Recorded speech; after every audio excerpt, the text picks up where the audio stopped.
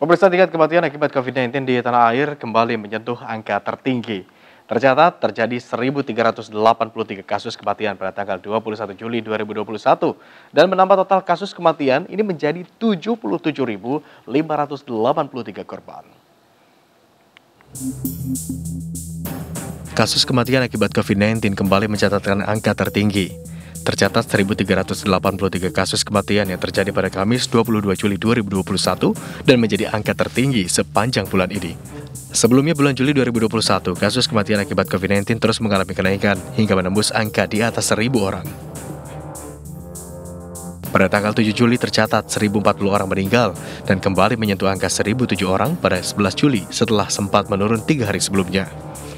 Kemudian secara berturut-turut angka kematian terus meningkat di atas 1.000 orang mulai tanggal 16 Juli hingga 21 Juli. Sempat tertinggi di tanggal 19 Juli dengan 1.338 kasus, angka kematian tertinggi akhirnya kembali terjadi di 21 Juli dengan jumlah total 1.383 kasus. Kondisi memprihatinkan ini harus menjadi perhatian seluruh masyarakat. Guna menekan penyebaran pandemi dan tingkat kematian, dibutuhkan kebijakan yang tepat dan kesadaran masyarakat untuk mematuhi protokol kesehatan.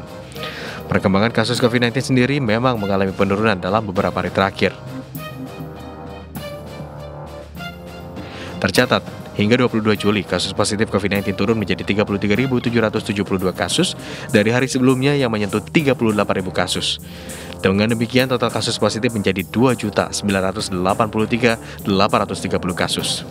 Sedangkan pasien sembuh juga meningkat menjadi 32.887 kasus dari hari sebelumnya yang hanya 29 ribuan sehingga total pasien sembuh mencapai 2.356.553 orang. Begitu juga dengan kasus aktif yang turun menjadi 549.694 kasus dari sebelumnya 550 ribuan.